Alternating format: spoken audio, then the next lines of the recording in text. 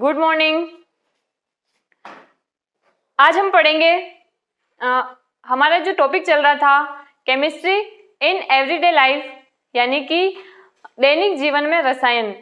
और उसमें हम लोग पढ़ रहे थे एसिड के बारे में फिर हम लोग पढ़ रहे थे बेस के बारे में और फिर हम लोगों ने पढ़ा टाइप ऑफ़ एसिड फिर हम लोगों ने पढ़ा टाइप ऑफ़ बेसिस और फिर हम लोगों ने देखे थे कि कुछ ऐसे एसिड जिनका हमारे डेली लाइफ में क्या यूज़ होता है, किस तरीके से वो हमारे लिए यूज़फुल होते हैं, इसी तरीके से हमने देखा कुछ बेस जिनका हमारी डेली लाइफ में क्या यूज़ होता है। तो उसी चैप्टर को हम लोग आगे देख रहे हैं एसिड और बेस और उसके आगे का जो हमारा टॉपिक है, वो है साल्ट यानी कि लवण। वैसे तो मैं आपको पहले ही बता चुकी हूँ कि सॉल्ट क्या होते हैं।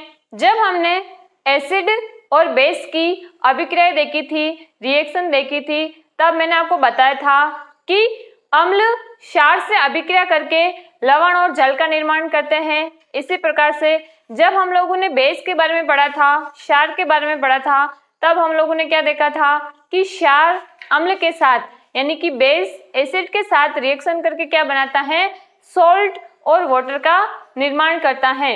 तो इसी को हम लोग डिटेल में देखेंगे कि सॉल्ट का फॉर्मेशन कैसे होता है? ये किस टाइप की रिएक्शन होती है?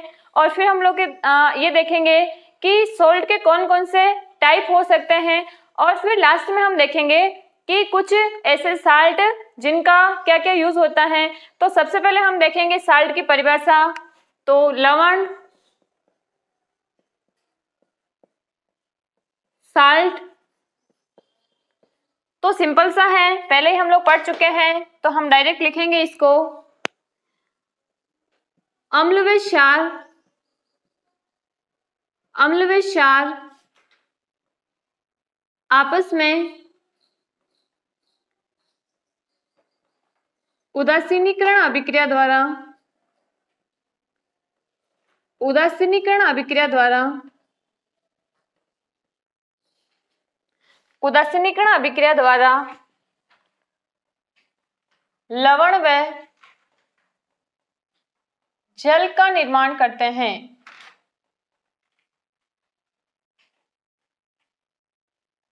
अब इसकी रिएक्शन हम लिख सकते हैं, जैसे एसिड है। ये बेस से रिएक्शन करेगा।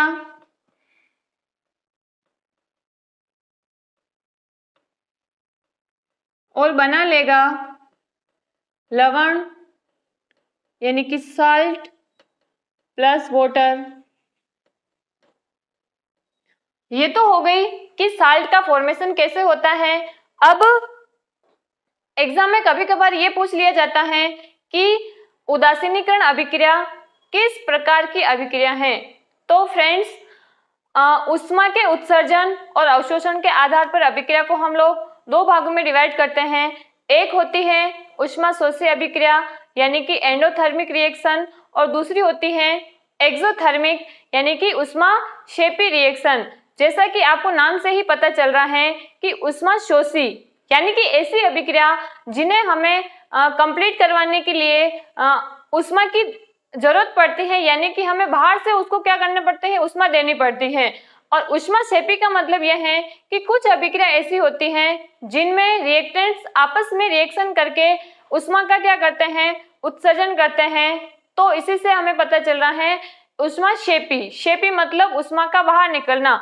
तो यहाँ पर यदि हम उदासीनीकरण अभिक्रिया की बात करें तो उदासीनीकरण अभिक्रिया जो है, ये एक प्रकार की उष्मा शेपी अभिक्रिया है।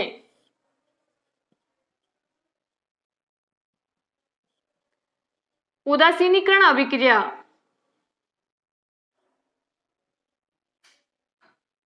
सॉरी उदासीनीकरण अभिक्रिया जो है, ये उष्मा शेपी अभिक्रिया है। यानी कि एक्सोथर्मिक रिएक्शन अब ये बात हो गई कि अभिक्रिया का प्रकार कौन सा है, उष्मा शेपी है। अब यहाँ पर हम लोग देखेंगे कि सॉल्ट किस किस टाइप का होता है और वो किस प्रकार के एसिड और बेस से मिलकर बना हुआ होता है। तो इसके लिए हमें पहले ये पता होना चाहिए कि एसिड के टाइप जिसमें स्ट्रॉन्ग एसिड्स कौन कौन से हैं वीक एसिड कौन कौन से हैं। फिर हम लोगों को ये पता होना चाहिए कि स्ट्रॉन्ग बेसिस कौन कौन से हैं और वीक बेस कौन कौन से हैं? इसी आधार पर यदि हमें ये पहले से पता है तो सोल्ट के टाइप हमें आसानी से समझ में आ जाएँगे। तो यहाँ पर हम लिखेंगे, लवण के प्रकार।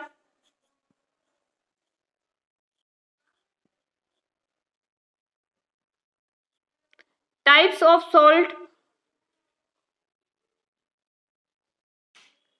अब जनरली हम सॉल्ट को तीन प्रकार से विभाजित कर सकते हैं। उसमें सबसे पहला हो जाएगा सामान्य लवण। सामान्य लवण। जनरल सॉल्ट इसी प्रकार से दूसरा हो जाएगा हमारा अम्लीय लवण।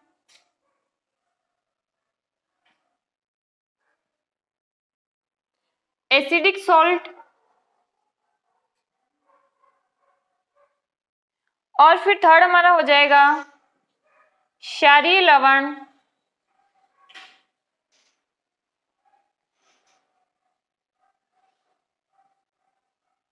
बेसिक सोल्ट बोल सकते हैं।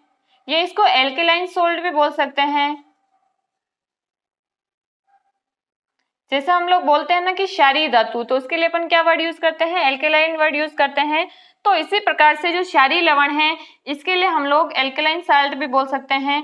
अब सिंपल सा है, सामान्य लवण। जब कोई ऐसा लवण जो प्रबल अम्ल और प्रबल क्षार से मिलकर बना हुआ होगा, यानी कि स्ट्रॉन्ग एसिड और स्ट्रॉन्ग बेस से मिलकर बना हुआ होगा तो वो दोनों आपस में एक दूसरे के इफ़ेक्ट को क्या कर देंगे? न्यूट्रल कर देंगे, उदासीन कर देंगे। तो उस कंडीशन में इफ़ेक्ट पूरी तरीके से खत्म हो जाएगा और उसकी पीएच क्या आ जाएगी? सेवन आ जाएगी। तो इस प्रकार के लवण को हम लोग क्या बोलते हैं? सामान्य लवण बोलते हैं। इसी प्रकार से दुर्बल अम्ल और दुर्बल क्षार से बने लवण भी किस लवण की कैटेगरी में आते हैं?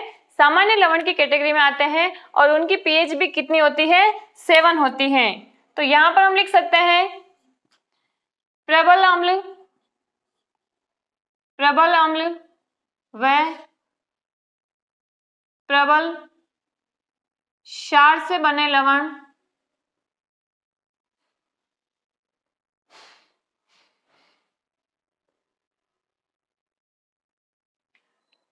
यहाँ पर इसके उदाहरण ले सकते हैं। अब आपको यहाँ पर ये पता होना चाहिए कि स्ट्रॉन्ग एसिड कौन कौन से हैं और स्ट्रॉन्ग बेस कौन कौन से हैं।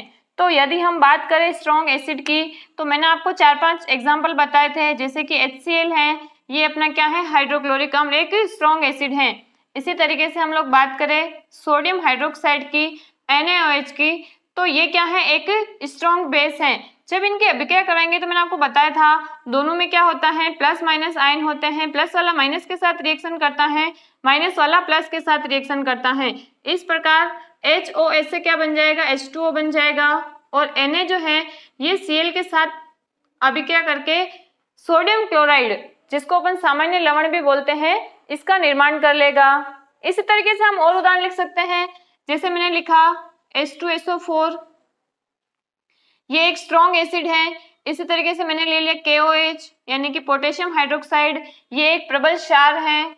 और यहाँ पर वही वाला, हमेशा ध्यान रखना कि एसिड और बेस में H और ओ OH आयन अभिक्रिया करके क्या बना लेते हैं? वोटर बना लेते हैं। और बाकी जो आयन्स बचे हुए रहते हैं, ये अभिक्रिया करके क्या बना लेते हैं? लवण बना लेते हैं। तो पहला तो ये हो गया, प्रबल अम्ल और प्रबल क्षार से बने लवण।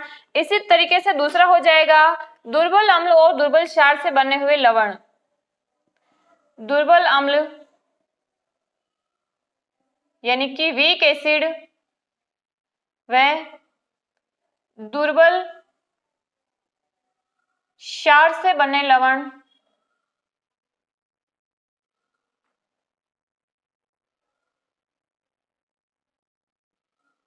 अब मैंने आपको क्या बताया कि सोल्ट में आपको ज़्यादा रटने की आवश्यकता नहीं है, या अलग से याद रखने की ज़रूरत नहीं है। यदि हमें ये पता है कि स्ट्रॉन्ग एसिड कौन से हैं स्ट्रॉन्ग बेस कौन से हैं तो और अपने को ये पता है कि वीक बेस कौन से हैं और वीक एसिड कौन से हैं तो हमें सोल्ट समझने में ज़्यादा दिक्कत नहीं आती है। तो जैसे मैंने कोई भी एक यहाँ पर वीक एसिड ले लिया, जैसे मैंने आपको उदाहरण लिखवाया था acetic acid C H three C O O H और एक दुर्बल क्षार ले लिया। जैसे दुर्बल क्षार में मैं आपको एक उदाहरण बता दूँ, अमोनियम हाइड्रोक्साइड तो यहाँ पर वही वाली कंडीशन एच और OH आपस में अभिक्रिया करके H2O बना लेंगे। और बाकी बचे हुए आयन जो है सी एस थ्री सी ओ ओ और यहाँ पर अमोनियम आयन बचा हुआ है। तो यहाँ पर ये बना लेंगे अमोनियम एसिटेट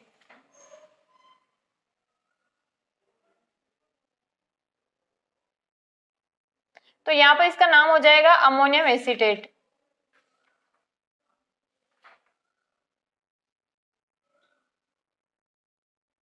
अब हमें ये पता है कि जब ये दोनों के इफ़ेक्ट को पूरी तरीके से ऑलमोस्ट क्या करते हैं, दोनों ही स्ट्रॉन्ग और दोनों वीक होने की कंडीशन में एक दूसरे के इफ़ेक्ट को क्या करेंगे, समाप्त कर देंगे। तो इनकी पीएच क्या हो जाएगी? लगभग सात हो जाएगी। तो यहाँ पर हम लिख देंगे कि ऐसे साल्ट की पीएच ऑलमोस्ट कितनी होगी? सात होगी। तो ये हो गया हमारा पहला सामान्य लवण। अब दूसरे लवण की बात करते हैं, अम्लीय लवण एसिडिक सॉल्ट अब यहाँ पर कॉमन सेंस लगाने वाली बात है। हम बोल रहे हैं कि अम्लीय सोल्ट इसका मतलब क्या है? कि इसमें एसिड का इफ़ेक्ट ज़्यादा होगा, तभी सोल्ट कैसा होगा? एसिडिक होगा। इसका मतलब यह है कि जब हम प्रबल एसिड की अभिक्रिया दुर्बल क्षार से करवाएँगे, यानी कि स्ट्रॉन्ग एसिड लेंगे और वीक बेस लेंगे, तब वहाँ पर किसका इफ़ेक्ट शो होगा? एसिड का इफ़ेक्ट जो होगा तो उस कंडीशन में जो सोल्ट बनेगा, उसको हम लोग क्या बोल देंगे? एसिडिक सोल्ट बोल देंगे। तो यहाँ पर हम लिखेंगे, प्रबल अम्ल प्रबल अम्ल स्ट्रॉन्ग एसिड व दुर्बल क्षार से बने लवण, दुर्बल क्षार, यानी कि वीक बेस से बने लवण।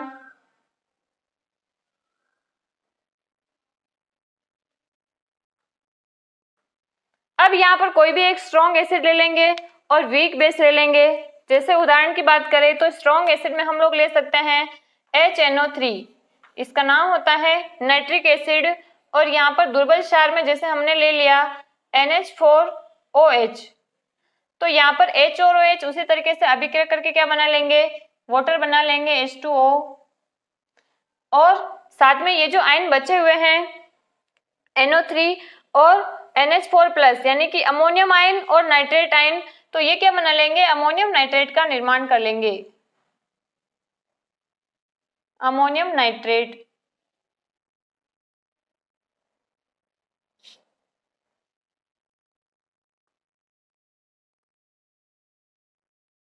अब यदि बात करें कि इसका पीएच क्या होगा? तो हम लोग जानते हैं कि जब भी एसिडिक इफ़ेक्ट होगा तो उसका पीएच जो होगा, वो सात से क्या क्या होगा? कम होगा। तो मैंने आपको पीएच स्केल भी पढ़ाया था सोरेंसन का, उससे भी आपको समझ में आ रहा होगा। तो यहाँ पर पीएच जो है, ये क्या हो जाएगा? लेस देन सेवन यानी कि सेवन से कम। इस तरीके से भी लिख सकते हैं या फिर पीएच लेस देन सेवन। इस तरीके से भी लिख सकते हैं। फिर लास्ट हमारा सॉल्ट की बात करें तो क्षारीय लवण एल्केलाइन सॉल्ट तो जैसा मैंने बताया कि जिसका इफ़ेक्ट ज़्यादा होगा, यानी कि जो स्ट्रॉन्ग होगा सोल्ट और वैसा ही इफ़ेक्ट शो करेगा। यानी कि इसका मतलब यह है कि यहाँ पर हम जो एसिड लेंगे, वो तो क्या लेंगे? वीक लेंगे। तो दुर्बल अम्ल दुर्बल अम्ल व वीक एसिड व प्रबल क्षार से बने लवण। स्ट्रॉन्ग बेस से बने लवण।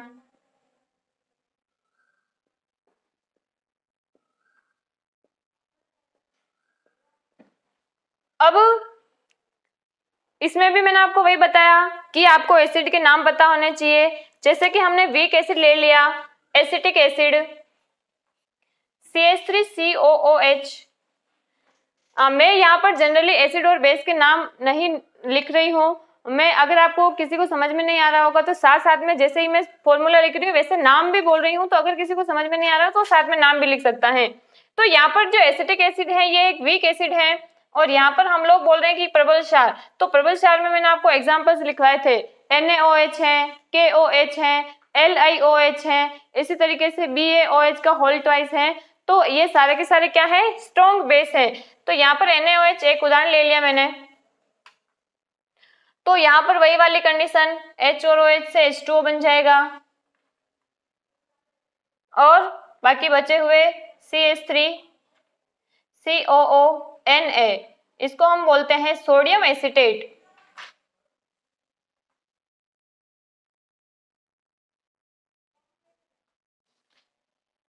Sodium acetate. और यहाँ पर मैंने नाम नहीं लिखे, वो मैं नाम लिख देती हूँ। ये है सोडियम क्लोराइड।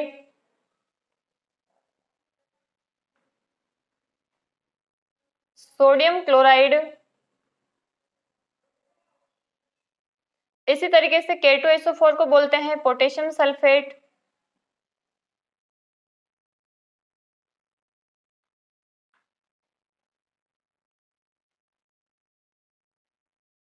अब यहाँ पर समझने वाली बात है, आपको ये एग्जाम्पल्स रटने नहीं है, क्योंकि यहाँ पर मैंने एक एक उदाहरण लिखवाए हैं, दो उदाहरण लिखवाए हैं किसी में। तो यहाँ से एग्ज़ाम में जो क्वेश्चन पूछा जाता है, वो ये नहीं पूछा जाएगा कि इस अम्ल की अभिक्रिया इस बेस के साथ करवाने पर कौन सा लवण बनेगा। एग्ज़ाम में जो क्वेश्चन पूछा जाता है, वो ये पूछा जाता है, आपको सोल्ट का नाम दिया हुआ होता है लाइन के अंदर, और ये पूछा जाता है कि ये सोल्ट या तो किस एसिड और बेस से बना हुआ है, या फिर आपसे ये पूछा जाएगा कि ये जो सोल्ट है, ये एसिडिक होगा या बेसिक होगा, यानी कि क्षारी होगा?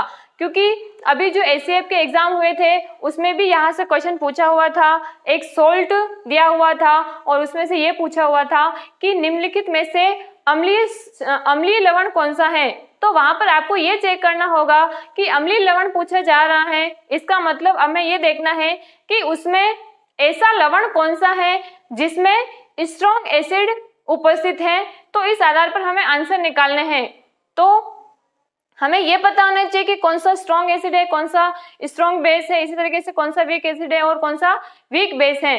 तो यहाँ पर हमारे जो टाइप्स ऑफ़ सॉल्ट हैं, वो कंप्लीट होते हैं।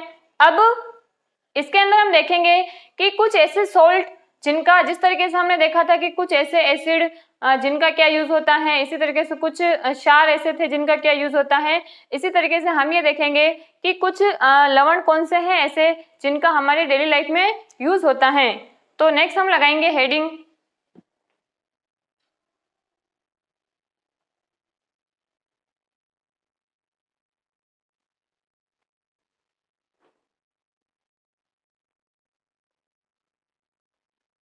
तो यहाँ पर हम लोग लिख सकते हैं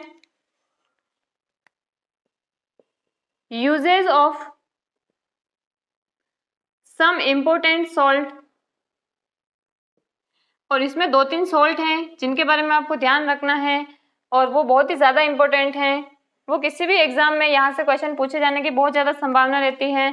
तो पहला सॉल्ट का नाम है NaCl सोडियम क्लोराइड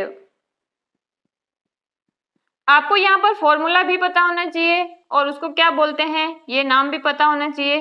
क्योंकि एग्जामिनर आपको दोनों में से कुछ भी दे सकता है।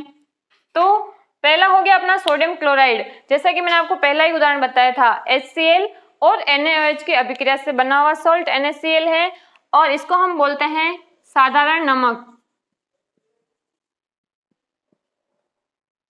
साधारण नमक NaCl ही होता है और खाने में हम लोग NaCl का यूज़ करते हैं। तो खाने में उपयोग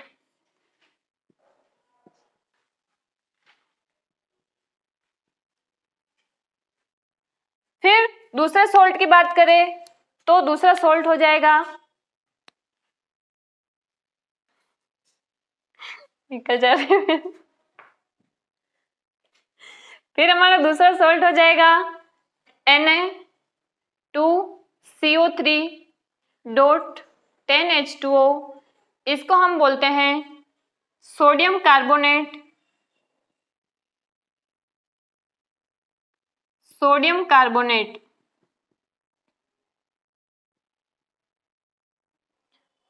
और इस सोडियम कार्बोनेट का यूज़ जो है, वो कपड़े धोने में किया जाता है।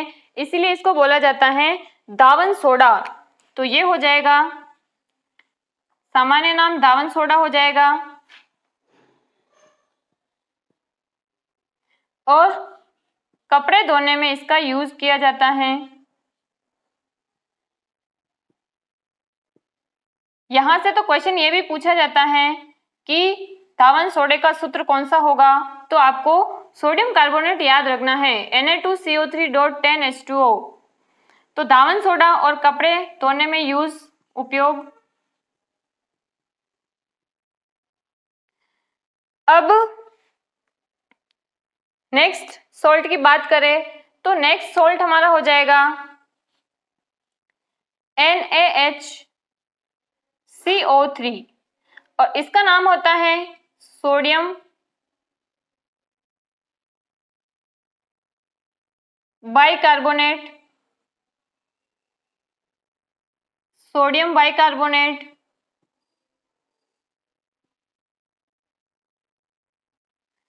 और जैसे हमने बोला था कि Na2CO3 सोडियम कार्बोनेट, इसका यूज़ कहाँ पर हो रहा था? कपड़े धोने में इसका यूज़ हो रहा था।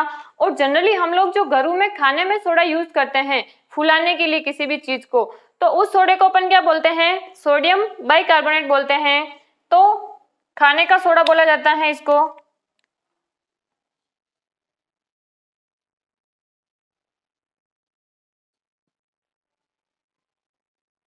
खाने का सोडा। फ्रेंड्स ये ऐसे उदाहरण हैं जो जहाँ से ही क्वेश्चन हर बार आने की संभावना रहती है। और जैसे कि मैंने आपको बताया था लेटेस्ट ही एस का जो दो फरवरी के अंदर जनरल जीके का पेपर हुआ था जीके और साइंस वाला तो उसमें यहाँ से क्वेश्चन पूछा हुआ था एक सोल्ट दिया हुआ था और उसमें ये पूछा हुआ था कि निम्नलिखित में से कौन सा एसिडिक सोल्ट होगा? और मैं एक छोटा सा वीडियो बनाऊँगी जिसमें मैं आपको ये बताऊँगी कि आ, किस तरीके से उस एग्ज़ाम के अंदर क्वेश्चन पूछे हुए थे। तो आज की क्लास को हम लोग यहीं पर समाप्त करेंगे। धन्यवाद फ्रेंड्स